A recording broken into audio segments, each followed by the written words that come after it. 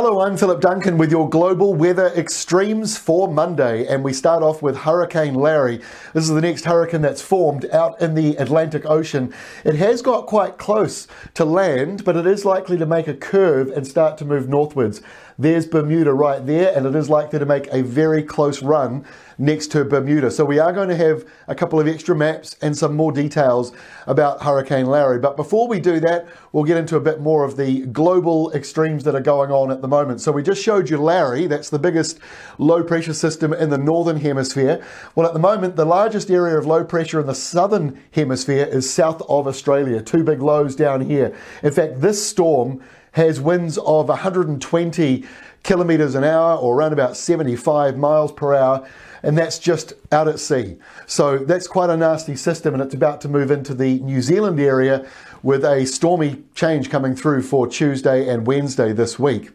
As we move around and going now to take a look at high pressure, the largest high pressure zone in the northern hemisphere is out here over Europe and parts of the UK. So we're certainly seeing warmer weather as that high has moved through because if you'll remember last week, high pressure north of the UK feeding down a colder northerly Temperatures have changed now, and you're getting airflows coming out of Europe into the UK. So London's got temperatures getting up towards 30 degrees into the late 20s anyway.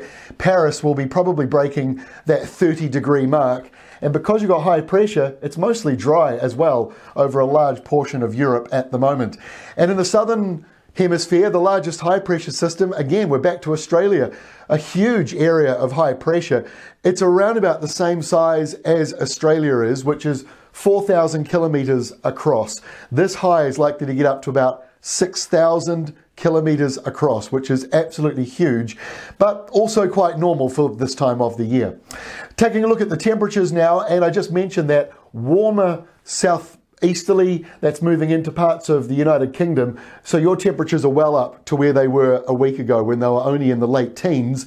Now the late 20s, possibly 30, and going into the 30s as you go into France and into the mid 30s once you get into Spain, and even hotter parts of Algeria getting up into the mid 40s, 45 degrees Celsius or 113, 113 Fahrenheit, and it's also very hot across the Arabian desert at the moment. Out across parts of Asia, certainly a cool down through here. We're seeing some pretty heavy snow and some heavy rain around parts of China.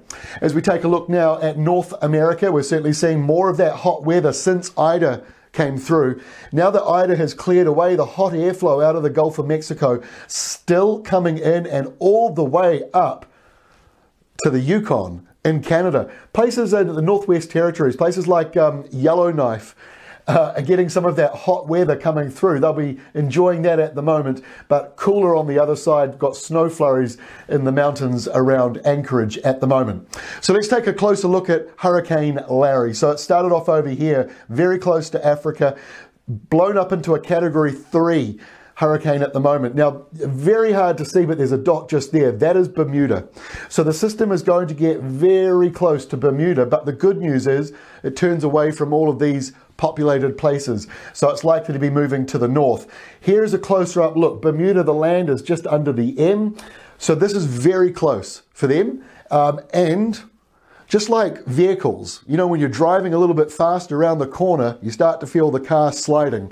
Same story with these storms. They do these sharp turns and they sometimes start to slide further and further out. So I would say Bermuda is in the risk zone for this system over the next couple of days as I mean, category two, that's pretty severe for a hurricane as it tracks by that area. And here is the spaghetti modelling suggesting where Larry is likely to go. Fairly consistent here. It may just brush St. John's in Canada, and then the leftovers may well end up as an extra tropical storm the usual sort of stuff up there around Iceland, maybe even coming into Sweden later on as a bit of a rainmaker and windmaker.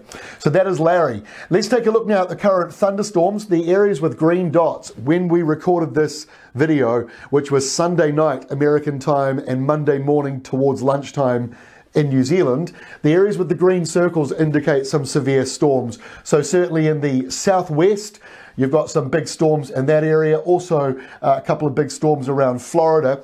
and Cuba, Cuba as well, uh, covered in thunderstorms. You can't even see it. Same as Puerto Rico. So we're certainly seeing a lot of thundery activity at the moment in that area. Very normal with all that humidity left over from Ida. It's not surprising. Okay, moving along now into parts of Europe, not much in the way of thunder activity, mostly dry because of that big zone of high pressure in the area. A few thunderstorms down around Morocco and northern parts of Algeria. And surprisingly quiet as well over a large portion of Asia at the moment. It is raining in this area, but without the heat, it's not necessarily sparking into those big thunderstorms that we have been seeing over the recent weeks. So, taking a look at some of the biggest rainfall for Monday across planet, and like I just said, some very heavy falls through inland parts of China and also moving into Korea as that rain moves through from from the west. It'll be very welcome in some very dry parts. Japan's got more downpours, so does India, as well as the normal wet weather for this time of the year continues on. In the southern hemisphere, it's the South Island of New Zealand that's got some heavy rain coming through for the mountains. There could be over 200 millimetres of rain over the next four or five days as a winter storm really comes through, and that will turn to snow with about a metre of snow falling along the tops of the southern Alps. Not great news for farmers with lambing season just beginning. And as we move around to the Americas, you can certainly see a bit of rain falling through the usual areas of Colombia and northern parts of Peru and Brazil, the afternoon downpours, and then into the uh, parts of Central and North America. You can certainly see into North America, it does start to dry out and uh, going right into Canada, large areas of dry weather with that warmer southerly coming through, but we've got wet weather over on the eastern half.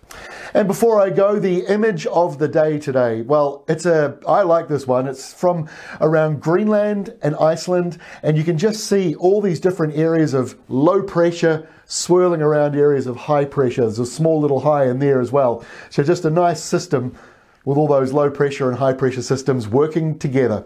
That is all from me. Thank you so much for joining us.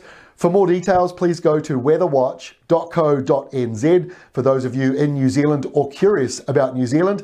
And elsewhere around the world, please use our business partners at weather.com. I will see you again on Wednesday or Tuesday night for those of you in America with our next Global Weather Extremes update.